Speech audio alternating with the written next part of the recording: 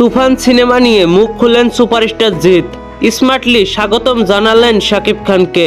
শাকিব খানের তুফান নিয়ে কি বললেন সুপারস্টার জিৎ? জানাব আজকের ভিডিওতে সব কিছুই তো চলুন মূল গসিপে। শাকিব খানের তুফান এখন দুই বাংলায় ব্যাপক আলোচনায়। তুফানের প্রত্যেকটা কন্টেন্ট প্রশংসা পাচ্ছে দেশ বিদেশের কন্টেন্ট ক্রিয়েটর এবং সেলিব্রিটিদের কাছ থেকে। এবার তুফান নিয়ে মুখ খুললেন সুপারস্টার জিৎ। রিসেন্ট এক ইন্টারভিউতে এম এফ কে টিভির অর্নার মহারাজ সুপারস্টার জিৎকে তুফান নিয়ে একটি প্রশ্ন করেন। সেই প্রশ্নটি ছিল এমন, শাকিব খানের যৌথ প্রযোজনার তুফান মুভিটা এপার বাংলায় মুক্তি পাবে। এই বিষয়টা নিয়ে আপনি কি বলতে চান? তার এই প্রশ্ন শুনে জিৎ উত্তর দেন, বাজার খোলা আছে, যে কেউ আসতে পারে। এই মন্তব্যটা একটু করা হলো বেশ কিছু ইন্টারভিউতে শাকিব খানকে নিয়ে প্রশংসা করেছেন টলিউড সুপারস্টার জিৎ।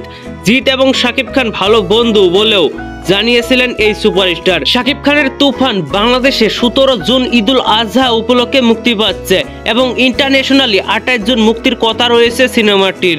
তুফান মুভিতে শাকিব খান ছাড়াও আরও রয়েছেন মিমি চক্রবর্তী, মাসুমা রহমান, নাবিলা, চঞ্চল চৌধুরী, মিশা সৌদাগর সহ আরও অনেকেই। তুফান মুভির মেন ভিলেন কে তা এখনও জানা যায়নি। তো ভিউয়ার্স তুফান মুভি নিয়ে আপনি কতটা এক্সাইটেড অবশ্যই নিচে থাকা কমেন্ট বক্সে জানাতে ভুলবেন না। আর ভিডিওটি ভালো লাগলে একটি লাইক দিয়ে বন্ধুদের মাঝে বেশি বেশি করে শেয়ার করুন। ধন্যবাদ পুরো ভিডিওটির সঙ্গে থাকার জন্য।